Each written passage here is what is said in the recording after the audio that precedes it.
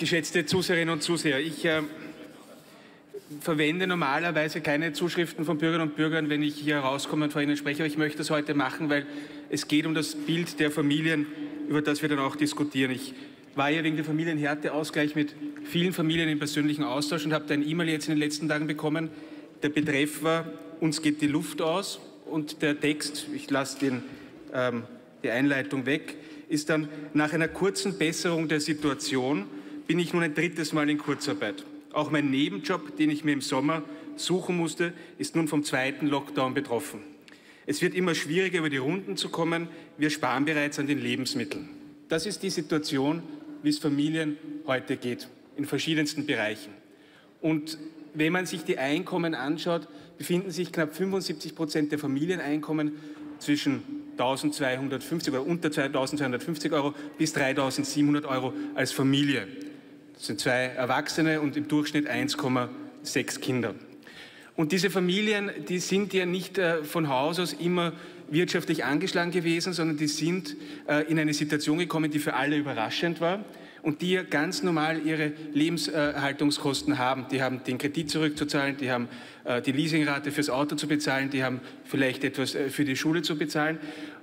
Und als ich dieses E-Mail gelesen habe und das Budget für 2021 gesehen habe, habe ich mich gefragt, hilft dieses Budget, das Sie uns für 2021 vorlegen, den Menschen, die uns heute als Abgeordnete solche E-Mails schreiben? Und ich bin zutiefst davon überzeugt, dass das nicht der Fall ist. Ähm, es ist nicht der Fall, weil Sie einerseits diesen ganz konkreten Familien, die das Problem haben, die jetzt beginnen, im zweiten Lockdown bei den Lebensmitteln zu sparen. Und die Frage ist, wo sie dann im dritten Lockdown sparen müssen ähm, hilft es diesen Familien, wenn sie pauschal über die gesamte Bevölkerung Einmalzahlungen ausschütten, die Hunderte von Millionen Euro kosten.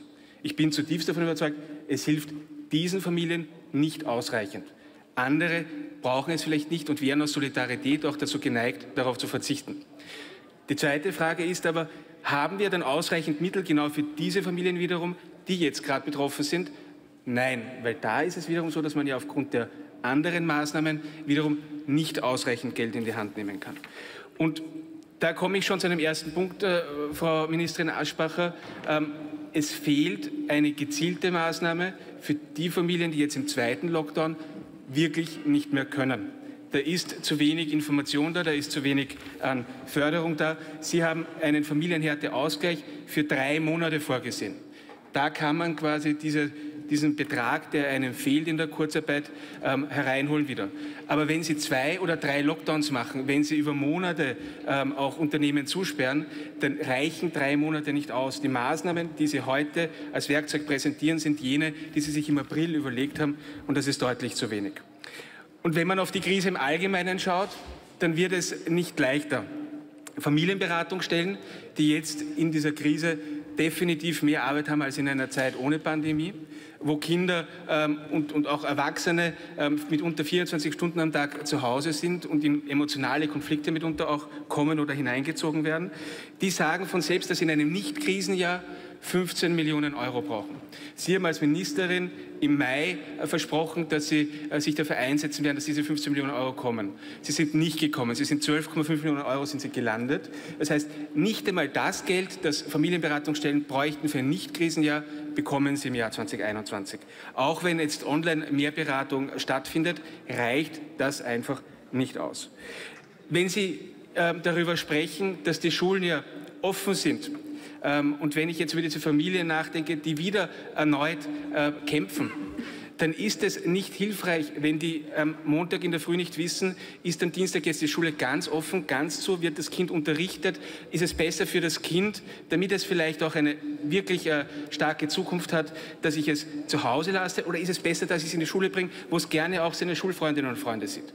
Die Eltern konnten das am Dienstag in der Früh nicht beantworten. Das liegt natürlich bei Minister Fassmann jetzt rein in der Kompetenz. Aber Sie als Familienministerin müssten da jeden Tag in der Früh aufstehen und massiv dafür werben, dass es eine klare Antwort gibt, dass die Kinder, egal ob sie jetzt in die Schule gebracht werden für die Betreuung oder zu Hause sind, immer die beste Bildung bekommen.